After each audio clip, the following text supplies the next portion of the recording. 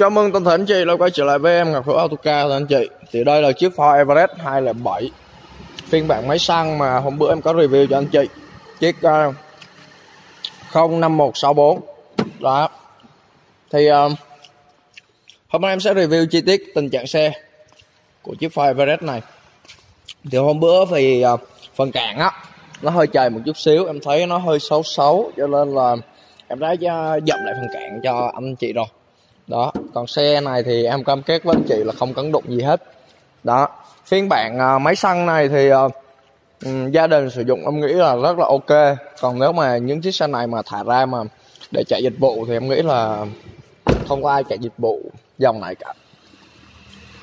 Thì bây giờ em sẽ đóng hết dàn cửa lại để uh, uh, review cho anh chị một cách uh, ok chi tiết nhất về phần nội thất của xe thì bên em đang uh, khử mùi móc trong xe hay là uh, những phần mà nó nó nó nó nó đang bị dơ bẩn thì ở bên em đang làm về phần nội thất bên trong. Còn về phần đồng sơn của chiếc xe này thì uh, hôm bữa tình trạng uh, chày trời chày cạn thì uh, có. Nhưng mà hôm nay thì những phần đó em đã làm lại rồi cho anh chị nha.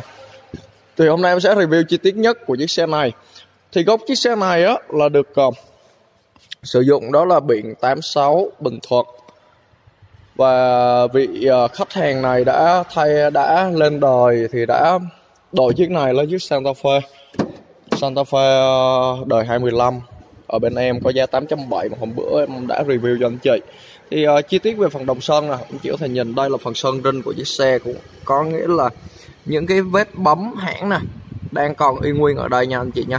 Hôm nay em sẽ review chiếc này chi tiết nhất. Đó về phần cạn của chiếc xe này thì anh ấy cũng không chở cái gì bảy chỗ phục vụ gia đình. Đó thì uh, phần đội nè anh chị có thể nhìn nè đội và những cái ờ, thiết bị uh, của xe thì vẫn đang còn rất là đẹp nha. Đó thì đây là cái cái nắp nè em sẽ nắp nó lại nha. Đó đây là phần nắp của con đội. Thì uh, thứ hai là ở đây em có dàn ghế.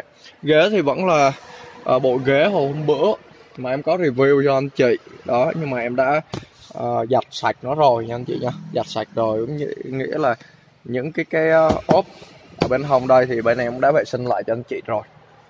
Đó keo chì của chiếc xe này thì anh chị có thể nhìn nè. Đó nó không mất một miếng keo chì nào cả. Đó cũng như là phần chỉ trên nè. Đó và sơn thì sơn rinh nha anh chị nha. Đó chỗ này thì cái cái ron á mình đóng ra đóng vào nó nhiều cho nên là cái phần ờ, chỗ này nó bị ăn mất cái cái sơn. Lớp sơn rất là mỏng nha anh chị nha. Đó mà nó lì thì đó là sơn sơn rinh của cái xe. Bất kỳ xe nào cũng vậy nha anh chị nha. Đó.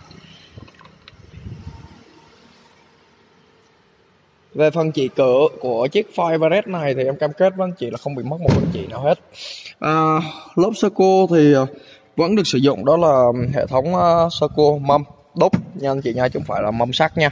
Đó mâm đúc đó và phần vỏ sau của chiếc xe này thì ờ, còn đến 90 phần trăm. Đó, vỏ sau của chiếc xe này cũng và dàn đồng của chiếc xe này anh chị có thể nhìn. Nó rất là đẹp và nó không có vết mục. Em sẽ xuống dưới gầm xe em quay cho anh chị này thì cái xe này được một cái là nó là một bản cao của hãng Ford. Sản xuất năm 2007 phiên bản cao nhất. Đó nó nó nói chung keo cao nhất thì nó cũng chưa phải cao nhất nó còn một bạn uh, ờ, số tự động máy xăng. Đó. Những viết bấm chỉ nè đang còn nè. Đó. Rất là ok đúng không anh chị?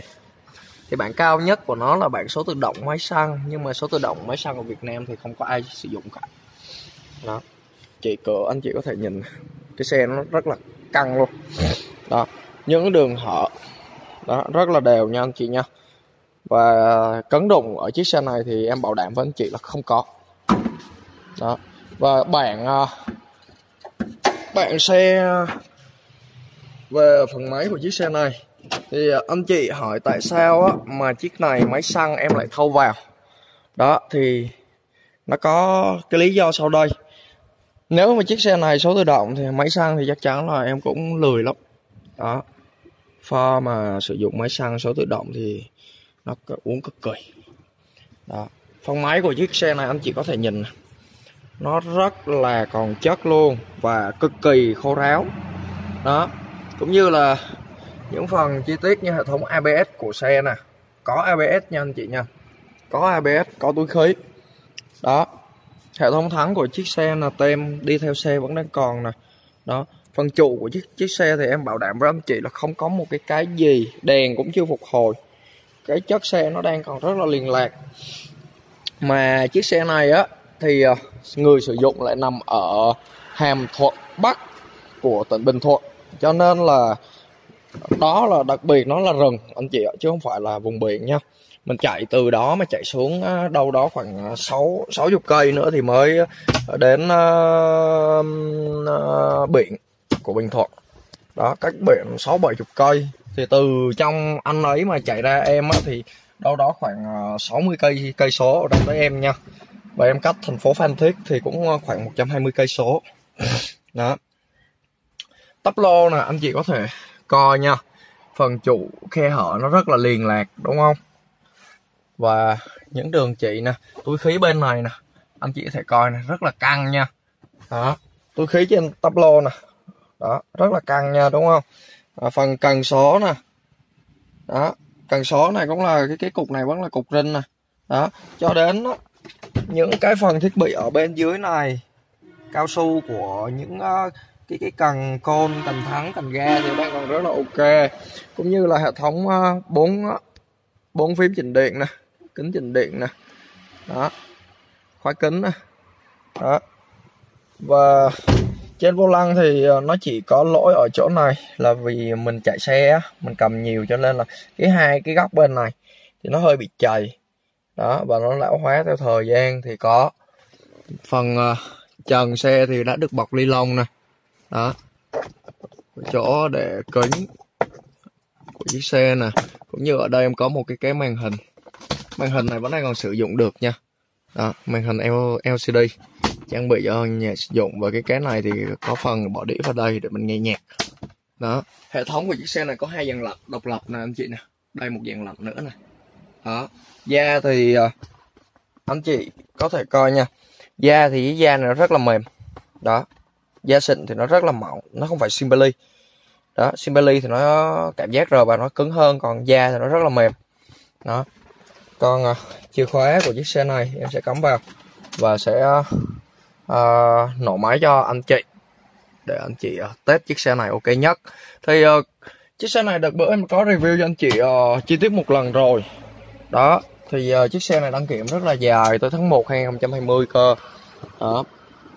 Thì uh, trước khi mình coi dàn máy thì mình sẽ coi về phần xe phần đồng xe trước. Đó. Những vết uh, bấm chì đó. Và những cái cái vè nè. Vè. Đó độ hở của cửa nha đó. Cũng như là dàn mâm. Đó. Mâm thì đây là một cái mâm sau nè anh chị nè.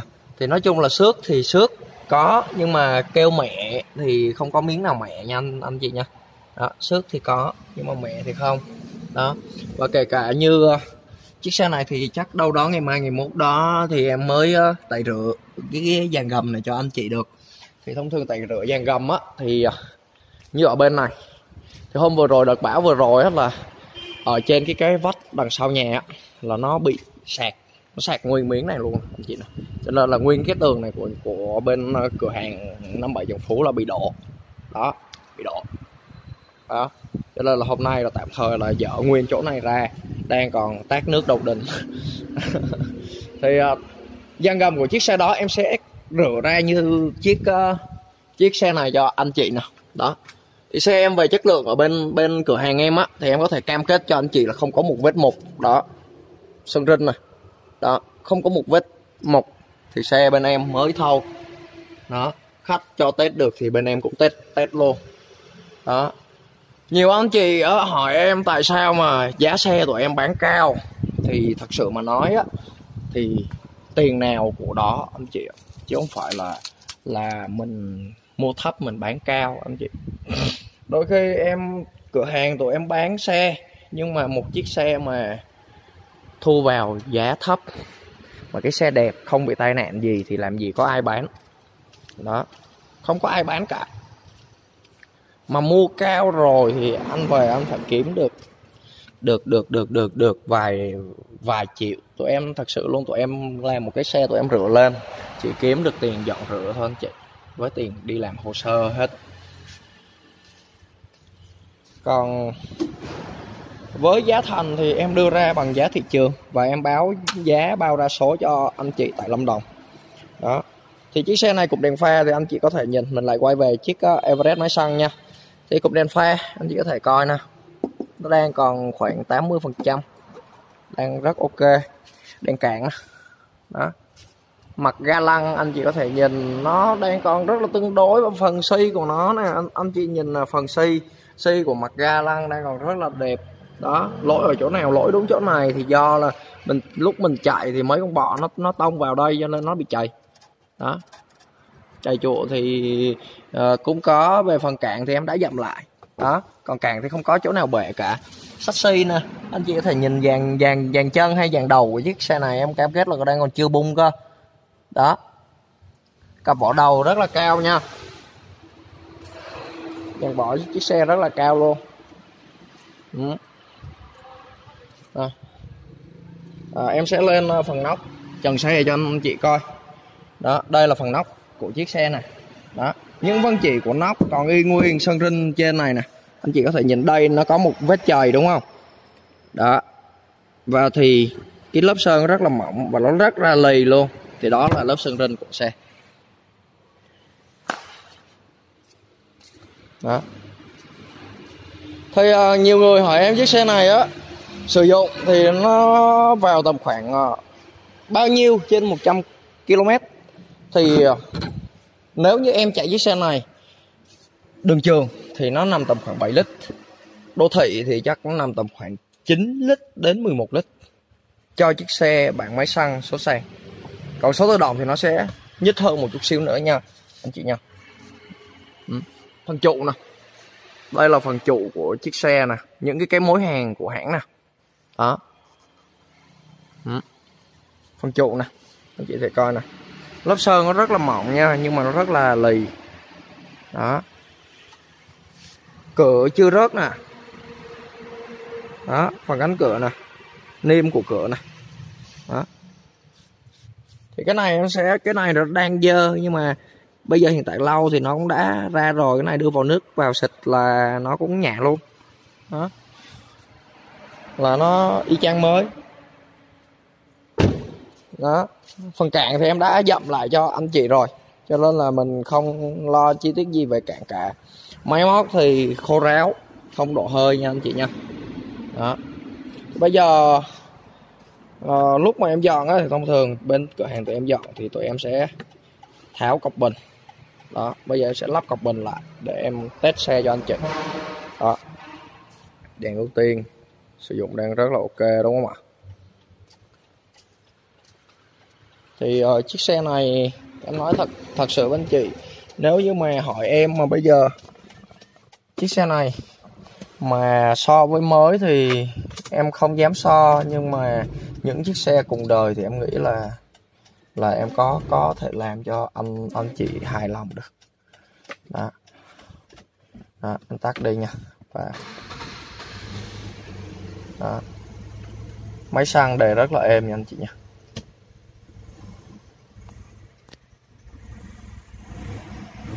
Đó anh, anh chị có thể nghe nha. Xe thì tình trạng em đậu rất là lâu rồi.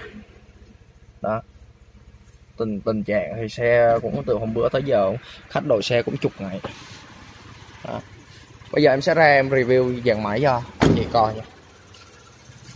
Máy nổ rất là êm. Thì thật sự mà nói chiếc xe này nghe tiếng nổ thì chỉ nghe tiếng quạt thôi. Đó. Tiếng quạt còn ồn hơn tiếng máy. Thì uh, hệ thống được qua bed full hết rồi nha anh chị nha.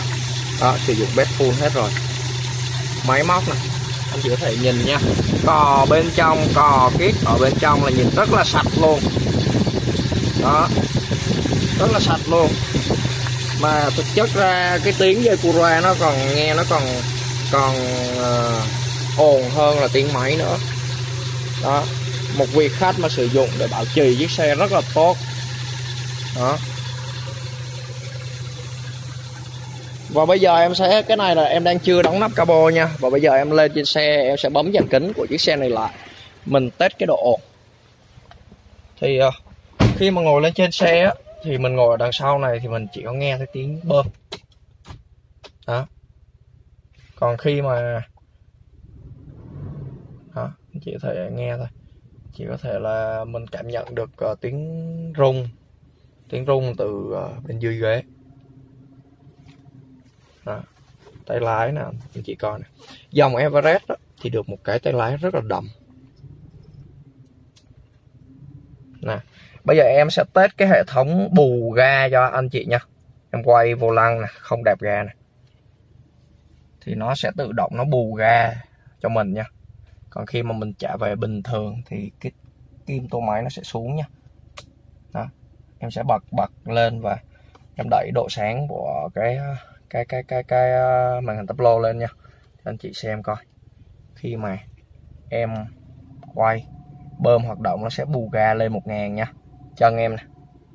Đó, không đẹp nha. Nhưng mà được bù ga lên một ngàn khi mà chạy chạy bơm nha. Đó. Bây giờ em trả nè. Tự động nó sẽ đưa về mốc 600 vòng tua máy.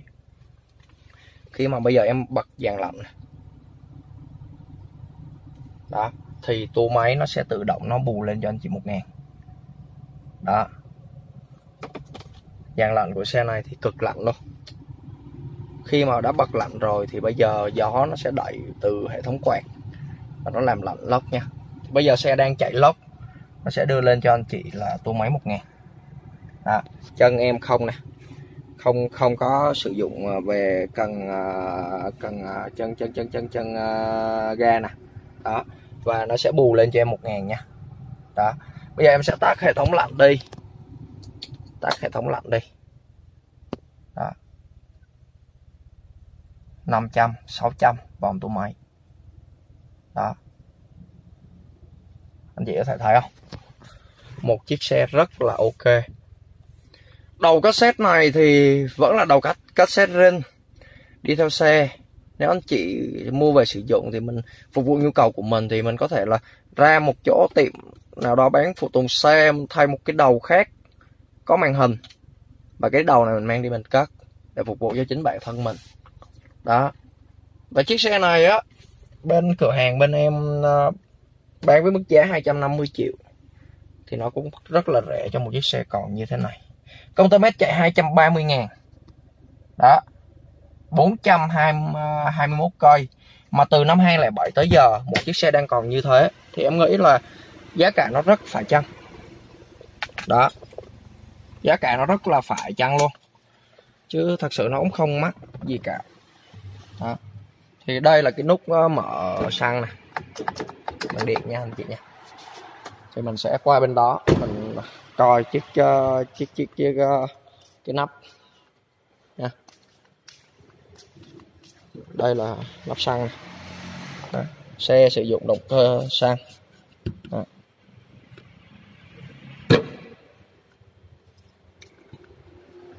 Đó.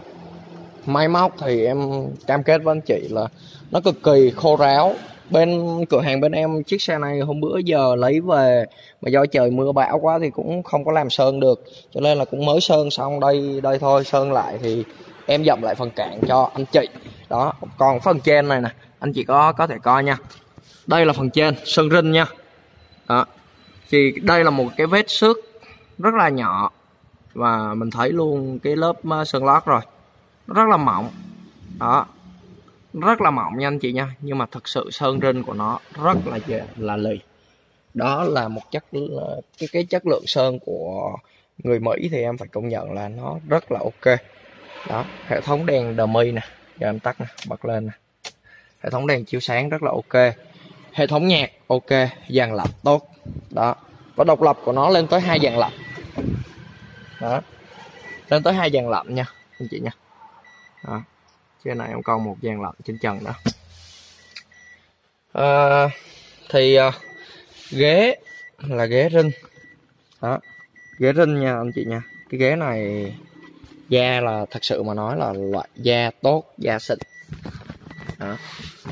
Da tốt da xịn luôn chứ không phải là Simbali nha anh chị nha. Simbali là được bọc ở dưới sàn này. Đó nó cứng hơn. Còn da thì nó rất là mềm nha rất là mềm mại. Thì uh, hiện tại uh, em mới uh, vệ sinh được uh, ghế sau và hai ghế này. Chiều nay uh, bên em sẽ vệ sinh cái ghế giữa này cho anh chị cũng như là uh, hệ thống ở bên hông này thì chiếc xe này em đã mở giao giao dịch bình thường anh chị rồi. Đó thì uh, bữa giờ khi mà em up clip đầu tại phòng công chứng lên đó cho anh chị thì uh, thật sự mà nói thì uh, xe từ hôm bữa giờ cũng năm bảy ngày rồi. Đó mà em chưa thể quay được tại vì trời mưa gió quá. Đó phần cốp. Đó anh chị thể coi nha. Em sẽ đứng lên cạn và em lên trên này em quay cái dàn trần cái keo chỉ ron thì cái này em em cũng đưa máy vào em xịt. Đó, đưa máy rửa xe vào em xịt thì ron lại à, đẹp lại cho anh chị thôi. Nó hết hết dơ đó. Cửa hàng bên em á, thì thông thường tụi em sẽ thâu những cái xe chuẩn đẹp về. Thì cái phần dọn, em, tụi em chỉ rửa một chiếc xe và lấy công đó.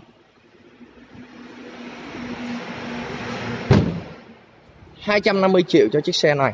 Anh chị thấy như thế nào ạ? Đó. Nếu đối với em 250 triệu với chiếc xe này em thấy nó quá rẻ. Đó. Mâm nè, vỏ cao nè, đăng kiểm dài nè, máy móc đang còn ngon nè. Đó. Thì bây giờ em sẽ quay lại cái cái phần chi tiết về dàn dàn máy cho anh chị coi nha. Nếu chiếc xe này bị đâm đụng rồi thì phần này không bao giờ còn được. Đó. Cái này là vết hàng của hãng nè còn công nghệ hàn của Việt Nam thì làm sao mà hàn được? Có ba mối như thế này thôi mà nó rất là cứng được. Không có. Đó. Chấm này sơn rinh này rất là lì nè. Nhưng mà rất là mỏng. Đó. Đặc biệt đặc tính của một chiếc, một cái màu rinh theo xe, nó là như thế nha anh chị nha. Và hai cái phần cao su để đỡ cho cái nắp cabo nè. Đó. Nè, anh chị cứ coi nè, sơn rinh này còn cái này thì lúc em quay là em đang chưa rửa máy anh chị nha. Khi mà em rửa máy thì cái màu này nó sẽ sáng hơn một chút, chút xíu nữa. Thì em rửa luôn cái này và tẩy những phần nhớt dính ở trên sơn này cho anh chị luôn. Đó. Thì chiếc xe này cửa hàng bên em cam kết cho anh chị nè. Máy. Ok ngon không độ hơi. Đó. Xe không cấn đụng cho anh chị. Và mức giá rất là mềm thưa anh chị. Đó còn bây giờ anh chị không cần phải nếu như anh chị đã xác định lấy chiếc xe này thì mình lên em. Đó. Và mua bán xe cũ thì em nghĩ là được ngày là mình lấy thôi. Còn về phần uh, quan niệm về tháng 7 thì em nghĩ uh, anh chị lên quan niệm về xe mới với xe cũ mình cũng không cần nha anh chị nha. Khi nào mình rút hồ sơ mình nhập tên thì mình ra tên của mình á thì em nghĩ là để qua tháng tháng sau mình làm nó sẽ hay hơn. Còn bây giờ thì mình tên thì đang đứng tên của người khác trên chiếc xe này. Cho nên anh chị cứ chạy tẹt ga. Đó. Cứ chạy tẹt ga luôn. Thì bây giờ em xin uh, review những tấm hình xe những hình ảnh xe về form dáng của chiếc Ford Everest 207 bảng máy xăng. Đó. Option cao như là uh, gần cao nhất của hãng Ford rồi vào năm à, 2007 đó. Thì chỉ thấp hơn là bạn máy xăng số tự động thôi nha anh chị nha. Giờ em sẽ hạ nắp cabo xuống. Em sẽ hạ nắp uh, cabo xuống cho anh, anh chị. Đó. Đó. Anh chị, đây là chiếc xe 68A 05164 Bản Ford Everest form mới của năm 2000 nhà sản xuất năm 2007 đang được đưa về cửa hàng 57 Trần Phú. Đó, nếu anh chị thích chiếc xe này hãy gọi cho em vào số điện thoại 0869 094491. Em Ngọc Hữu Autocar. Xin cảm ơn anh chị đã coi video và đồng hành cùng Auto Ngọc Huy trong suốt thời gian vừa qua. Đó. Thì ờ, uh, 250 triệu chiếc xe này thì em nghĩ nó là một con số không mắc. Nào, cho một chiếc xe còn long lanh như thế này nha anh chị nha. Kính chúc anh chị có thật nhiều sức khỏe và hẹn anh chị trong những video tiếp theo.